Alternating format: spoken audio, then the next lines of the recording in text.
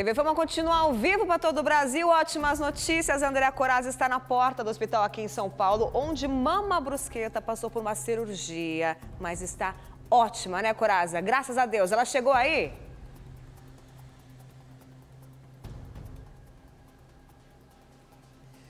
Flávia, ela chegou nós demos sorte. Na verdade, a gente já colocou ela posicionada, ela saiu logo depois que eu falei com vocês. Ela saiu daqui. Aí a gente colocou ela aqui posicionada porque aqui é um espaço onde saem carros. Então, a gente colocou ela posicionada num lugarzinho que não vai atrapalhar ninguém.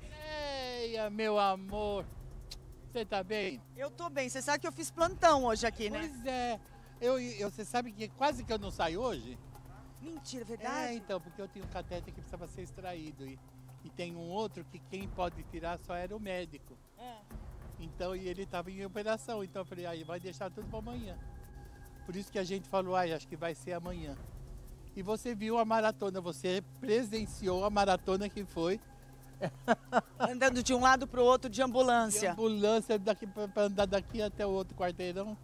Tive que montar na ambulância com 50 pessoas me levantando.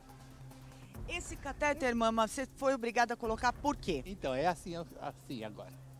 Eu tive um pequeno problema na operação hum. que eu fui fazer semana passada, que foi a, a baixa da, da, da, frequência cardíaca. Hum. Então a minha pressão abaixou muito uma vez. Aí eles deram o remédio, voltei numa boa, aí eles começaram tudo de novo. E essa primeira interferência intercorrência foi de colocar gás dentro do, do estômago uhum. para dar espaço para o robô que já estava posicionado para fazer a dissecação do órgão, do, do, do, a dissecação do pedacinho do esôfago e mais o estômago todo, é, ele precisava de espaço para eles se mexerem lá dentro. Uhum. E aconteceu uma segunda vez abaixou mais ainda. E aí os médicos ficaram com medo de arriscarem mais uma vez. Então duas vezes aconteceu, a terceira não foi. Vamos parar por aqui, paramos por aqui, mas deu tempo deles verificarem que o, o, o, o estado que estava era melhor do que eles imaginaram que estaria. E aí eu vou fazer agora uma série, daqui uns quatro ou cinco dias, eu vou começar a fazer uma série de cinco semanas de quimioterapia e radioterapia. Tem gente que até publicou que eu me recusaria a fazer quimioterapia. Aonde que eu ia recusar fazer uma coisa que pode salvar a minha vida? Exatamente, é? é uma cura. É uma cura. E então, então eu vou fazer rádio e químio ao mesmo tempo no hospital aqui do lado, no, no, no STAR. E aí essas cinco semanas serão provavelmente, segundo os próprios médicos dizem, um, um alento para a gente erradicar totalmente o câncer. A possibilidade do câncer voltar. Então eu estou muito bem medicada, não sofri nada, mesmo tendo essas duas intercorrências na, na, durante a cirurgia. Não sofri nada. Eu só fiquei parecendo um pouquinho robô, porque eu tinha fio tudo contelado, né? Porque eu tinha um catéter na jugular. Uhum. Aí eles botaram um outro catéter aqui, que é onde vai ser feita a, a, a químio e a rádio. Uhum.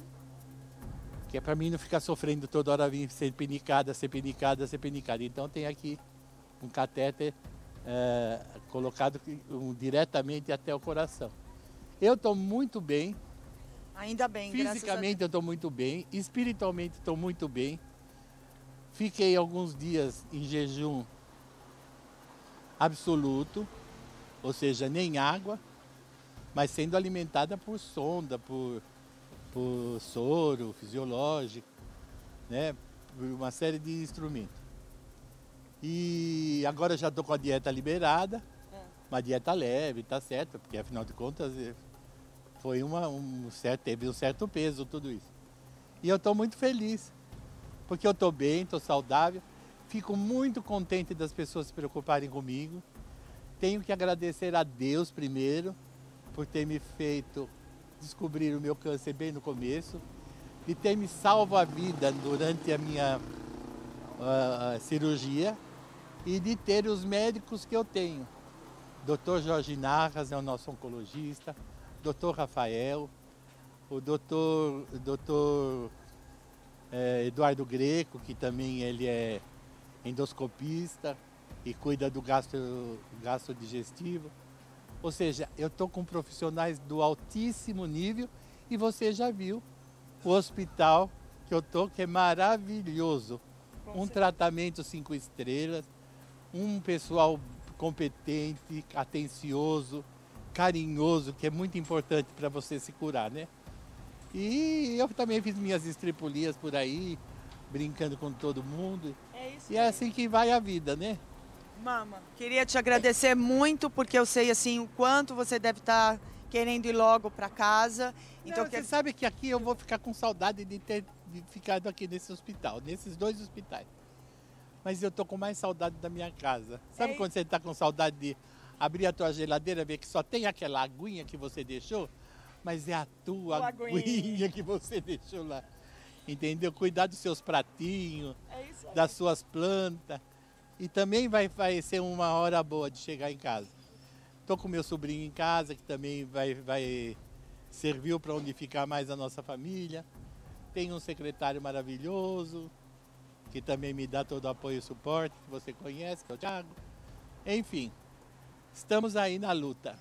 Estamos aí na luta. Mama, muito obrigada. Eu quero pedir mais uma vez desculpas a você e aos outros repórteres que por acaso ficaram aqui de vigília durante o dia, mas é que foi além da minha vontade. É, eu sabe. gostaria de ter mandado todo mundo entrar, porque a primeira coisa que me disseram foi ah, o, o, o hospital não vai dar autorização, aí depois deu autorização, aí eu falei, e agora o que, que eu fico? Eu fico com cara de taxa, chama todo mundo, chama o Bruno, chama quem estava lá embaixo, mas você persistiu e ficou, eu só tenho a agradecer. Obrigada, viu, minha querida? Obrigado. Obrigada mesmo. Para você, Nelson, para você, linda Flávia, toda a sorte do mundo. Eu estou aqui também orando por vocês.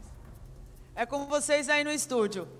Amém, mama. Nós estamos orando por você. Você é muito amada pelo Brasil. Muita saúde para você e vai tomar sua aguinha, vai cuidar das suas plantinhas, tá bom? Descansa, fique em paz e a gente está aqui sempre por você.